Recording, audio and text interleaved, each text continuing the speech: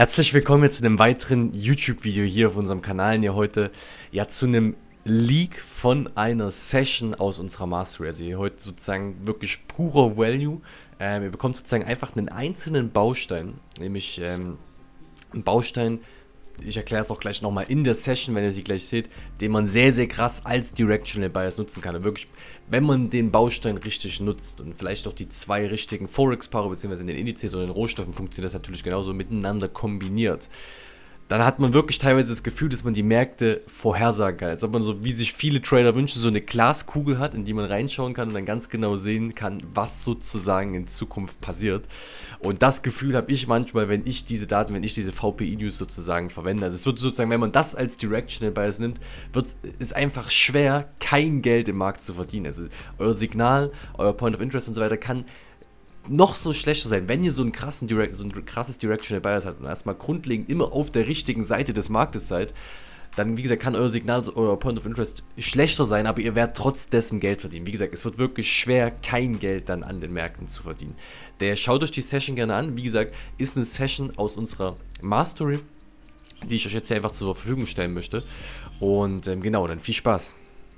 So, also wir schauen uns jetzt hier sozusagen einfach mal den DXY an, also sozusagen den US-Dollar.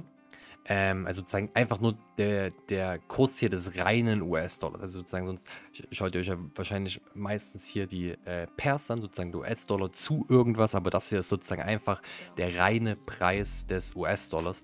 Das gibt es so, by the way, zu jeder Währung. Hier an der Seite seht ihr das, gibt es für den Euro, für den Pound, für den australischen Dollar, für den Schweizer Dollar, den kanadischen Dollar, für den Yen und äh, natürlich auch den Neuseeland-Dollar. Ähm, genau, so, weil dann ist es erstmal ein bisschen cleaner, das sozusagen zu bewerten. Aber wir gehen dann natürlich auch gleich nochmal in die Forex-Paare rein und äh, schauen uns da die äh, Auswirkungen an. So, ich habe jetzt hier schon mal ein bisschen Vorarbeit geleistet, da, dass ähm, wir das jetzt hier gleich einfach nicht machen müssen, sondern jetzt hier einfach durchgehen können. Ich habe jetzt hier sozusagen, seht das schon, ähm, immer wenn sozusagen hier der VPI, der Verbraucherpreisindex, aktualisiert wird, beziehungsweise neu rausgekommen ist, neu veröffentlicht wurde von der USA, von den, United States, hier sozusagen so eine vertikale Linie gesetzt und erstmal so die wichtigsten Daten gesetzt. Sozusagen einmal, was erwartet wurde und das letztendliche Ergebnis. So, wir wissen jetzt, ähm, wenn wir nochmal ganz kurz reingehen, wissen wir, wenn der VPI höher als erwartet kommt, wird grundlegend erstmal erwartet, dass die Zentralbank die Zinsen erhöht um die Inflation zu kontrollieren, was damit erstmal positiv für die jeweilige Währung ist, weil höhere Zinsen die Währung aufwerten. Wie gesagt, zieht Investoren an und so weiter. Es wird teure Kredite zu nehmen, es wird Geld aus dem Umlauf gezogen und so weiter. Wie gesagt, schaut euch dann auf jeden Fall nochmal das erste Video an, wenn ihr das dann nicht ganz verstanden habt. Ähm, das heißt, jetzt hier an der Stelle, das war jetzt hier am 11. Januar, am 11. Januar, wenn wir da ganz kurz mal schauen, sogar sozusagen, für, äh, auf die Seite kommt ihr ganz einfach, wenn ihr sozusagen bei Google einfach eingibt USA VPI, dann gibt es ganz viele Seiten, die das anzeigen. Ich nehme mir halt meist investing.com, ähm, die zeigen das immer sehr übersichtlich an. Und jetzt habe ich es schon wieder vergessen, bei was waren wir? Wenn wir uns hier nämlich mal anschauen, 11. Januar, 11. Januar, sehen wir hier sozusagen war er vorherig bei 3,1%. Die Prognose waren 3,2% und letztendlich war er dann sogar, ist er dann veröffentlicht worden, sogar bei 3,4%, also höher als erwartet. Ähm, heißt sozusagen extrem positiv für sozusagen den Dollar. Und wenn ihr dann halt auch seht, was dann hier nachfolgend passiert ist, hätte man dann einfach nur das sozusagen als Directional, ähm, als Directional Bias verwendet und hätte sozusagen in, erstmal grundlegend sozusagen in diese, in diese Richtung sozusagen getradet, weil das ist ja ein Baustein, wenn ich hier ganz kurz sozusagen hier mal und nochmal unsere Komponenten einblende, immer wieder, ist das jetzt kein Baustein, nachdem man logischerweise blind tradet. Okay, sobald äh, das Ganze veröffentlicht wird, geht man einfach blind long. Also könnte man wahrscheinlich machen. Weiß ich nicht, wie, man, wie das performt wurde, habe ich so nie getestet. Ähm, das heißt, wir nehmen das logischerweise nicht blind einfach als Signal, sondern natürlich optimalerweise hier als Directional Bias, Bias setzen das hier als Baustein ein, beziehungsweise als Point of Interest gibt es wahrscheinlich auch einige Möglichkeiten, das zu verwenden.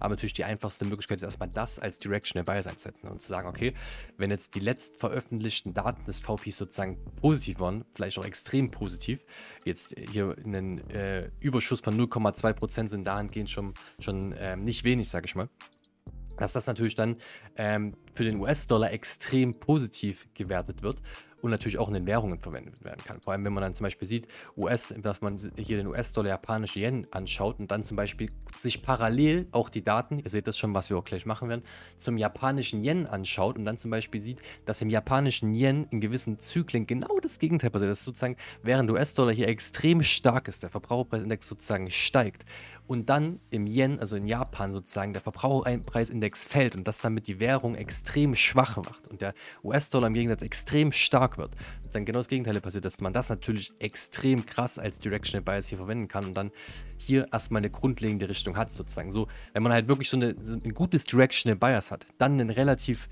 ähm, man, man, kann sogar ein scheiß POI haben und ein scheiß Signal haben. Wenn man einfach dann sozusagen grundlegend mit dem Directional Bias die richtige Richtung ausmacht, wird es halt schwer, kein Geld zu verdienen. Es wird echt schwer, dann Geld zu verlieren. Und halt hier, wenn man hier nur nach Long Trades geschaut, hier nach Sweeps oder sonst was, ihr seht das ja hier, was man hier halt hätte für krasse Trades erzählt. Hier, na, das ist jetzt hier ein bisschen zu breit, der Stift, aber hätte man jetzt hier so beispielsweise halt sozusagen nur die Sweeps hier immer wieder nach oben getradet. Wie gesagt, es muss dann kein kompliziertes System sein, sobald wir hier irgendwo sozusagen hier drunter rein sweepen, immer nur wieder die Sweeps nach oben. Hier das gleiche, immer wieder die Sweeps nach oben. Wäre es halt ist es halt sehr, sehr schwer, wie gesagt, da Geld zu verlieren. Wie gesagt, wenn man das natürlich, wie gesagt, nicht blind danach traden, aber das halt, wie gesagt, mit dem richtigen Point of Interest, mit Orderblöcken, mit Liquiditätsbereichen, ähm, so wie wir das in unserem HT-System machen, whatever, gibt es ja so viele verschiedene Bausteine, die wir halt hier als Point of Interest verwenden können. Dann mit einem geilen Signal, wie wir beispielsweise auf einer kleineren Zeiteinheit mit einem Orderflow-Wechsel, mit einem Trigger-Level, mit einer Trendlinie, mit einem Indikator, wie dass wir sagen, boah, keine Ahnung, sobald wir hier unten, sobald wir hier drunter sweepen und hier im Moving Average auf einer kleineren Zeiteinheit drüber steigen, gehen wir long rein rein, whatever. Gibt so viele Möglichkeiten, das Ganze dann sozusagen zu verwenden. So, wir sehen dann auf jeden Fall hier Verbraucherpreisindex extrem, extrem, äh, also der US-Dollar natürlich daraufhin extrem, extrem gestiegen.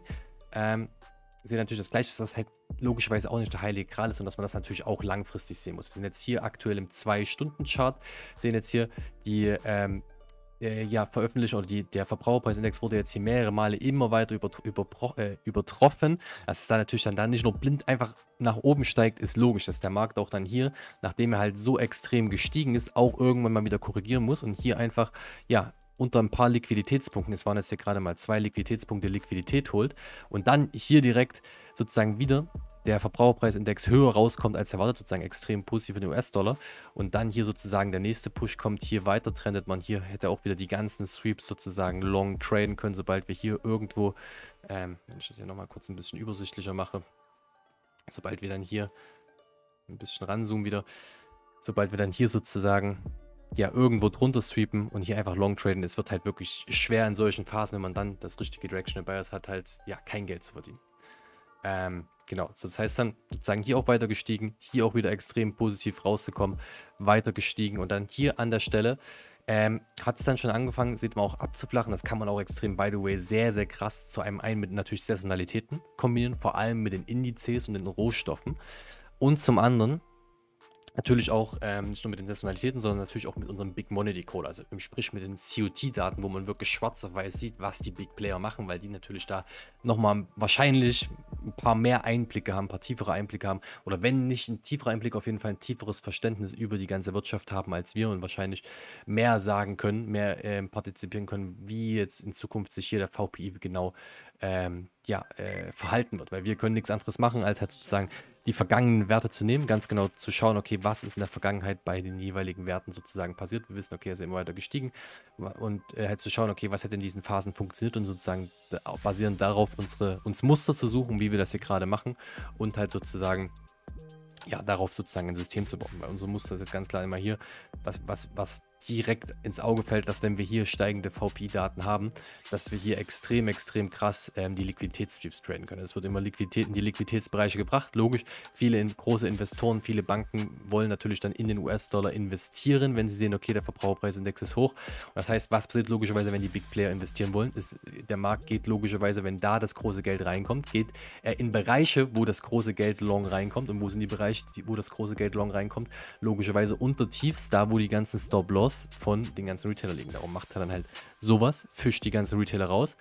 Hier unten haben dann verschiedene Big Player die, die Möglichkeit, halt wirklich ihre riesigen Positionen in den Markt zu ballern. Dann passiert halt genau immer wieder sowas aus diesen ganzen Lows heraus. Auch wieder genau das gleiche, minimal und dieses Low gedippt hier und dann pam, hier wieder mit, mit dem nächsten, mit dem nächsten Release. So, hier hat das Ganze aber dann schon angefangen abzuflachen. Wir sehen dann auch hier, ist der äh, VPI-Wert dann hier mehr oder weniger stagniert, sozusagen ist dann hier wie erwartet rausgekommen, dann ist dann werde ich das sozusagen einfach hier als 0, als neutral, nichts weiter passiert. Ihr seht auch hier im Großen und Ganzen eher leicht abfallen bis seitwärts bewegt. Dann aber ab dem, ab dem Punkt hier, ab dem sozusagen 12. Juni, können wir auch nochmal ganz kurz überprüfen. Ab dem 12. Juni sehen wir, ist der VPI denn angefangen, oder hat der VPI angefangen, ist der VPI angefangen sozusagen hier zu fallen. Prognose waren 3,4%, sozusagen gleichbleibend wie hier zuvor. Er ist aber auf 3,3% gefallen. Was dann natürlich, wie wir wissen, genau das Gegenteil, extrem negativ für den ähm, für den Dollar ist. So, das ist jetzt natürlich wieder der Punkt, dass das natürlich nicht sofort gleich blind funktioniert, weil klar, alle Retailer haben hier wahrscheinlich erstmal verkauft, aber meist, vor allem nach einer langen Periode, wenn er genau das Gegenteil macht, passiert das sehr oft, dass wir dann teilweise erstmal genau, genau das Gegenteilige machen. Ähm, wir erstmal eine Weile noch steigen, Liquidität hier überall holen, über den Lows, die ganzen Retailer verwirren, die ganzen Retailer sozusagen raushauen, aus dem Markt schmeißen und wir dann sozusagen dann erst die richtige Auswirkung des Marktes dann hier sehen, wie wir das hier auch wieder sehen. Dann wieder angefangen zu fallen. Hier sind sozusagen die nächsten VPIs rauszukommen, auch wieder schlechter als erwartet. Und das ist auch genau der Grund, wie gesagt, warum man da nicht danach blind traden sollte, sondern das natürlich auch mit anderen Dingen kombinieren sollte. Wie zum Beispiel hätte man das als, als Directional Bias genommen und das Ganze zum Beispiel hier noch zusätzlich mit einem Strukturbaustein sozusagen kombiniert, dann hätte man hier auch wahrscheinlich, trotz dessen, dass man hier vielleicht einen, erstmal einen Short Directional Bias aus den VPI-Daten bekommen hätte, keinen Short Trade gemacht, weil wir hier erstmal noch komplett ja, long eingestellt waren die ganze Zeit, bis wir dann sozusagen hier oben drunter gebrochen sind. Sozusagen hier, wie gesagt, wenn wir jetzt hier den Directional Bias einmal sozusagen beispielsweise die VPI-Daten nehmen, wie wir das hier gerade machen, und dann zusätzlich sozusagen hier als Directional Bias das noch mit einem Trendbaustein kombinieren, wir, hätten wir sowieso erst ab hier sozusagen irgendwo Short-Signale gesucht und dann ähm, ja, et voilà, seht ihr, was dann hier passiert ist. So, hier wieder genau das gleiche, was hier auch wieder funktioniert hätte. Liquiditätssweeps, wir holen hier Liquidität, holen hier Liquidität und dann ciao, haben hier Liquidität über dem High geholt, ciao, haben hier Liquidität geholt, dreimal, dann wieder genau das gleiche, ciao nach unten, genau das gleiche, dann hier ähm, Liquidität geholt, hier Liquidität geholt, getankt und dann hier ein Abfall ähm, jetzt hier zum, zum ähm, ja, Abschluss der Woche. Also wie gesagt, aber die meisten traden ja hier keine, keine Futures oder sonst was, sondern halt CFDs, beziehungsweise das funktioniert logischerweise überall. Ähm, daher wollen wir das Ganze natürlich uns jetzt hier auch nochmal in den Forex-Paaren anschauen. Und da habe ich ja natürlich gesagt, ist es natürlich praktisch, beziehungsweise ist die Session jetzt hier schon wieder 11 Minuten. Wir machen es einmal so, wir haben uns jetzt hier einmal für den, für den Dollar angeschaut, beenden die Session ja immer, dass wir auf jeden Fall ein paar kürzere Sessions haben immer, die nicht immer so äh, lang gehen. Ähm, beenden die Session ganz kurz und schauen uns jetzt hier gleich in der nächsten Session dann auf jeden Fall mal ähm, ein, zwei Währungspaare an. So, ich hoffe, euch hat die Session gefallen. Also, wie gesagt, wenn ihr das Ganze richtig, diesen Baustein richtig in euer Trading-System integriert, dann wird es auf jeden Fall schwer, kein Geld an den Märkten zu verdienen. Oder umso schwerer, kein Geld an den Märkten zu verdienen. Das ist ja genau das, was wir im Prinzip wollen, ist uns so leicht wie möglich zu machen, an den, an den Märkten zu. Fast unmöglich zu machen, an den Märkten kein Geld zu verdienen.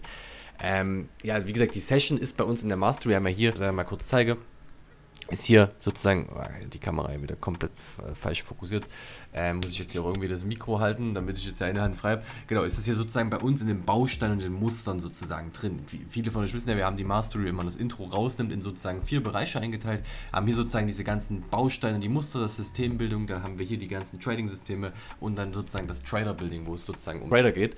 Ähm, wo es um dich als Trader geht.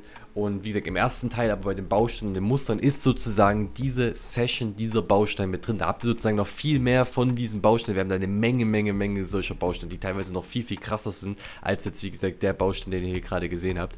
Ähm, und bauen uns sozusagen in diesem ersten Modul in der Mastery erstmal so mehr oder weniger einfach erstmal die Werkstatt, das Lager und vor allem die Garage auf, womit wir dann sozusagen die Trading-Systeme bauen, weil bei uns geht es sozusagen darum, nicht nur einfach irgendwie ein Trading-System zu lernen oder sonst was, wie es bei den meisten der Fall ist, sondern bei uns geht es ja wirklich darum, wirklich unabhängig zu werden, indem man lernt, eigene Trading-Systeme mit seiner eigenen Werkstatt, seinem eigenen Lager zu bauen. So, sozusagen das ist sozusagen ein Baustein, den ihr sozusagen von unserem Anfang für euer Lager sozusagen mitbekommt, mit dem ihr dann sozusagen in Zukunft eure eigenen Systeme bauen könnt, weil allein, wie gesagt, ihr habt das ja gesehen, aus dem Baustein kann man wahrscheinlich so krass viele Dinge machen, mit den Liquiditätsstreams, mit einem Strukturbaustein in diese Richtung zu traden, auf einer kleineren Zeit dann halt oder, oder, oder. Also ich hätte, alleine ich hätte wahrscheinlich nur mit ein, diesem einen Baustein so viele Ideen. Und wenn man dann natürlich noch eine Menge mehr solche Bausteine hat und vor allem, wie ich es auch in der Session gesagt habe, anfängt, diese Bausteine miteinander zu kombinieren, wird wirklich krasser Scheiß möglich. Bloß hier jetzt auch nochmal der Hinweis, ähm, dass die Mastery am Sonntag für immer geschlossen wird. So wie gesagt, das ist auch kein Marketing-Move oder sonst was. Die Mastery wird es so direkt nie wieder geben. Wir schließen unsere Tore da wirklich für immer. Bis Sonntag wirklich die letzte Chance, der Mastery beizutreten und das Ganze sozusagen, diese ganzen Bausteine, die ganzen, wir haben jetzt über acht Trading-Systeme in der Mastery, unter anderem unserem Big Money Flow-System, was auch unter anderem mit dem Baustein sehr, sehr gut funktioniert, ähm, mit einer fast 70-prozentigen Trefferquote bei einem durchschnittlichen CAV von 1,5. Also sind wirklich absolut krasse Systeme ist. Das ist, by the way, ein Higher Timeframe System, eins von den acht Systemen, wie gesagt, was wir auf H4 traden, also perfekt für neben dem Job. Haben aber natürlich noch weitere, viele weitere Systeme in, in der Mastery, teilweise auch Scalping-Systeme auf kleineren Zeiten, im Minutenchart und, also ist auf jeden Fall wirklich für jeden was dabei. Aber das ist ja, wie gesagt, nicht das Grundlegende, worum es bei uns in der Mastery geht, sondern wir zeigen ja bloß, wie wir diese Systeme bauen. Klar könntet ihr die Systeme auch für euch selber verwenden, aber der Hauptgrund, worum es ja bei uns in der Mastery geht, dass ihr anhand, äh, dass wir euch anhand dieser Systeme zeigen, wie wir unsere eigenen Systeme bauen und sozusagen diese Fähigkeit bei euch implementieren. Weil, wie gesagt, einzelne Trading-Systeme, wenn, wenn wir euch nur die Trading-Systeme geben würden, die würden mit der Zeit gehen. So kein System funktioniert für immer, die Märkte verändern sich ständig. Das heißt, es wäre nur eine Frage der Zeit, bis ihr sozusagen ja kein Geld mehr im Trading verdienen würdet. Das heißt, ein einzelnes Trading-System bringt euch nicht, langfrist, nicht, nicht langfristig weit im Trading, weil das kann euch von den Märkten genommen werden, ein Trading-System. Aber die Fähigkeit, eigene Systeme zu bauen und immer wieder an den Markt, sich immer wieder an den Markt anpassen zu können, diese Fähigkeit kann euch keiner mehr nehmen. Keiner.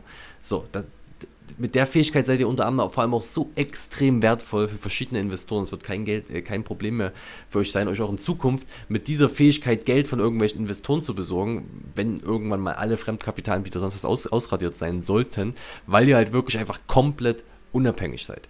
Der, wie gesagt, unten in der Beschreibung ist auf jeden Fall die Website von unserer Mastery nochmal verlinkt.